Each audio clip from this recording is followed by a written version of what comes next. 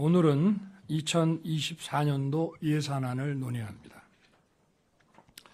정부는 어려운 여건 속에서도 민생 경제를 살리는데 총력을 다해왔습니다.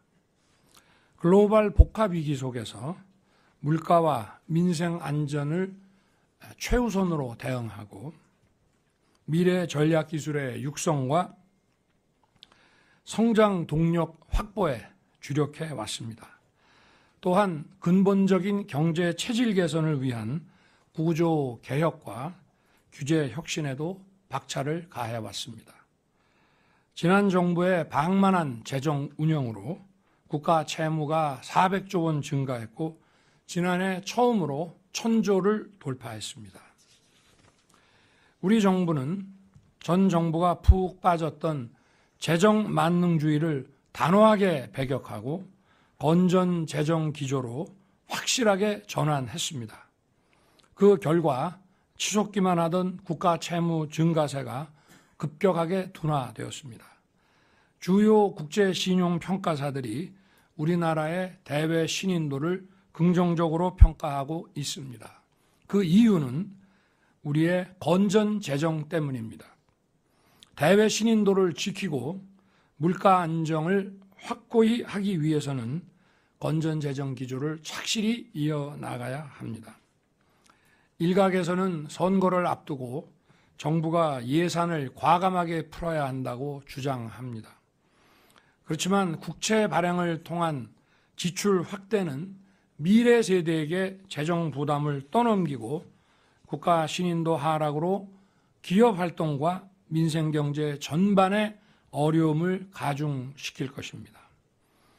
그 대신 우리 정부는 경제 체질을 시장 중심 민간 주도로 바꿔 민간이 더 활발하게 투자하고 지출하고 일자리를 만들어 내는데 역점을 둘 것입니다. 이를 위해 민간 투자를 저해하는 킬러 규제를 과감하게 철폐하고 민간의 자금이 흘러갈 수 있도록 금융 시스템을 정비할 것입니다. 내년도 총 지출은 656조 9천억으로 잡았습니다.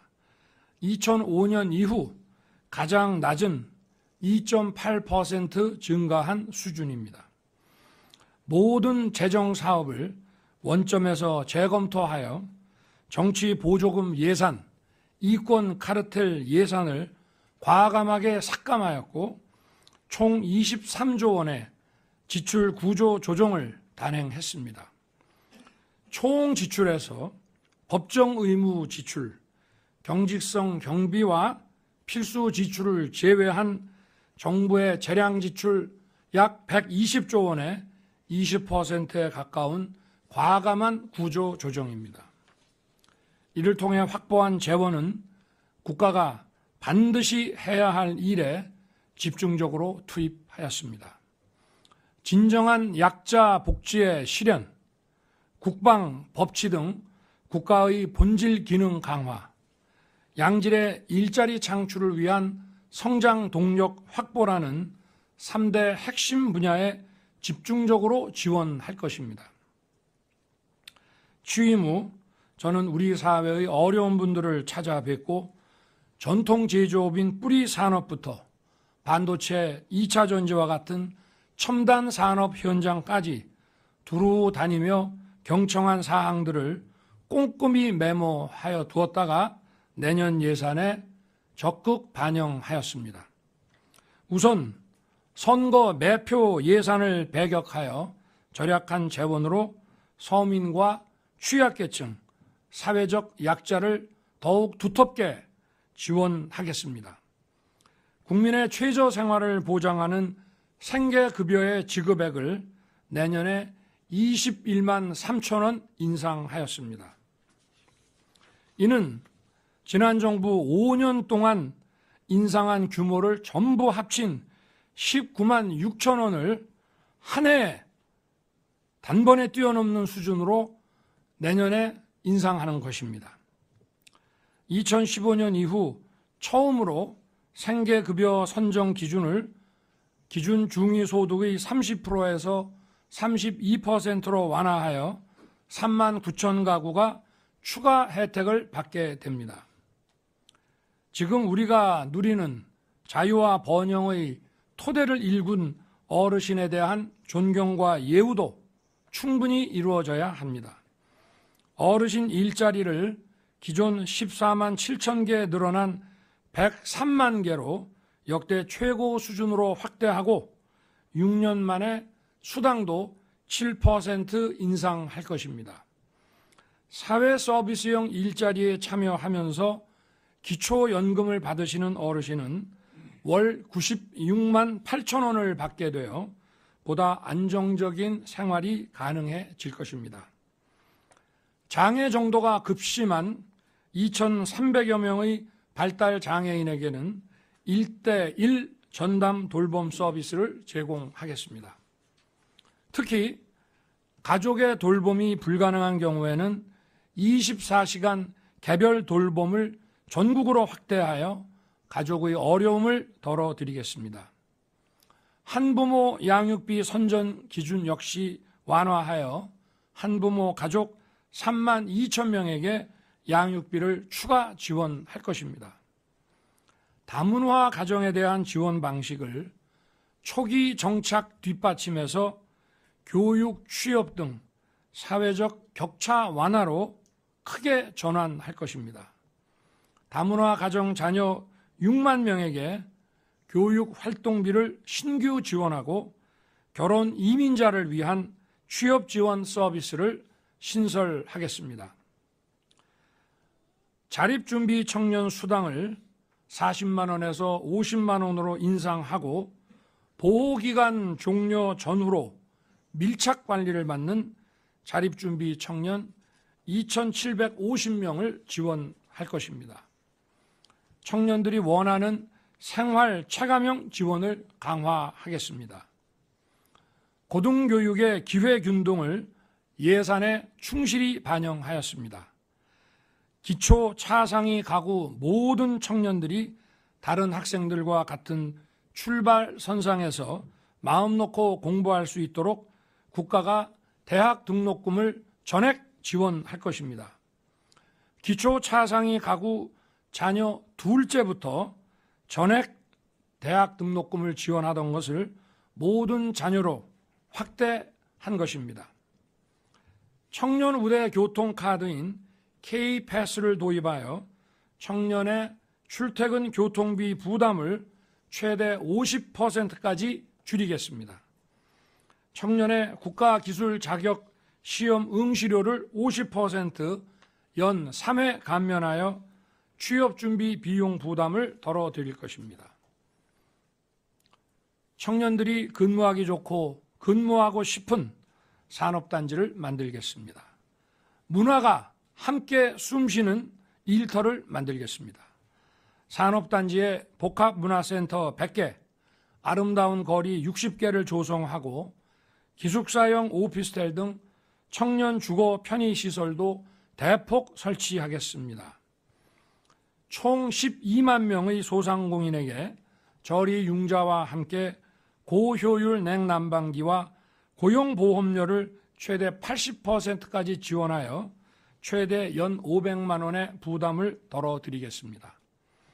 다음으로 치안, 국방, 행정 서비스 등 국가 본질적 기능을 수행하는데 국민의 세금을 충실하게 사용하겠습니다.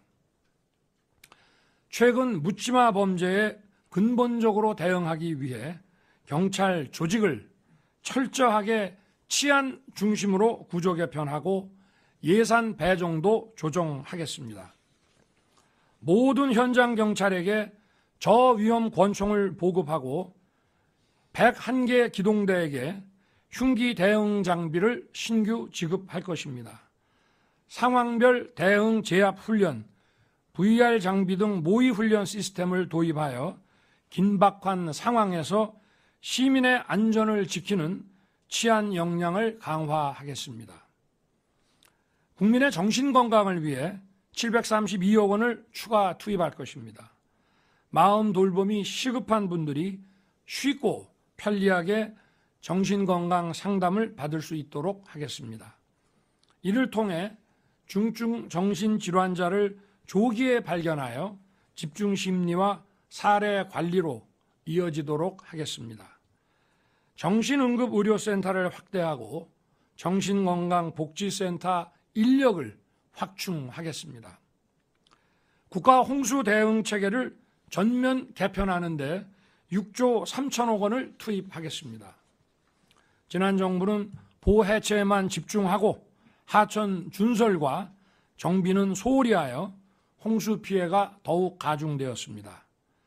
국민의 안전과 치수를 위해 하천 준설과 정비를 다시 본격적으로 추진하겠습니다. 저수지 준설을 7개에서 77개로 대폭 확대하여 강수 저장 능력을 강화하고 범람 위험을 줄이겠습니다. 전국 하천에 홍수 조기 경보망을 확대하여 홍수 예보 시점을 당초 홍수 발생 3시간 전에서 6시간 전으로 앞당기겠습니다. 국가와 국민을 위해 헌신하는 군 장병들의 후생은 곧 국가 안보와 직결됩니다. 초국 간부의 노후 숙소 4만 2천 개를 전부 개선해서 농물 관사 제로화를 신속하게 추진할 것입니다. 장교와 부사 간의 복무 장려금을 2022년 각각 600만 원과 500만 원에서 내년에는 1,200만 원과 1,000만 원으로 각각 두 배 인상하여 강한 군대를 위한 인재 확보에 매진하겠습니다. 이미 약속드린 대로 내년도 병 봉급을 35만 원 추가 지급하여 25년까지 병 봉급 200만 원을 달성하겠다는 국정 과제를 차질 없이 추진하겠습니다. 또한 더위와 추위를 조금이나마 덜 수 있도록 얼음 정수기 15,000개와 플리스형 스웨터를 전 장병에게 보급할 것입니다. 국가의 품격은 국가가 누구를 어떻게 기억하느냐에 달려 있습니다. 국가에 헌신하신 영웅들을 제대로 기억하는 것이야말로 국가 정체성의 핵심입니다. 보훈 보상금을 2년 연속으로 5% 수준 인상하고 일상 속에서 국가 유공자의 헌신을 기억할 수 있도록 디지털 보훈 전시관을 개소하겠습니다. 글로벌 중추국가로서 국제사회에 대한 책임 있는 역할과 기여도 확대해야 합니다.